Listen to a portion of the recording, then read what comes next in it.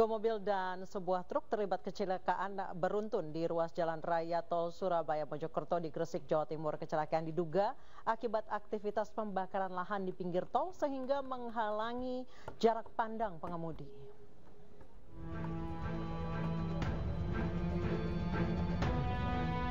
Inilah video amatir yang merekam kepulan asap tebal menghalangi pemandangan pengemudi di ruas jalan tol Surabaya Mojokerto kilometer 723 di Desa Pasinan Lebang Putih, Kecamatan Wuringi, Nanom, Kabupaten Gresik.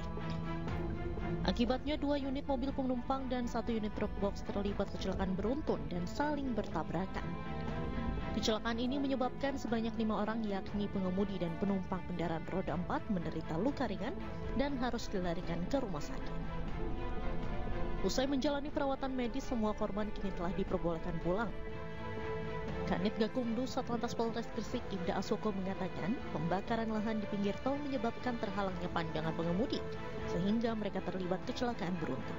Berdasarkan keterangan dari para pengemudi itu karena mereka melakukan pengereman mendadak ada cuaca berkabut yang diakibatkan oleh uh, mungkin warga sekitar yang melakukan pembakaran lahan. Tidak ada korban jiwa, hanya ada korban luka ringan empat orang dan kemarin berdasarkan uh, observasi dari rumah sakit sudah bisa dinyatakan pulang ke rumah masing-masing.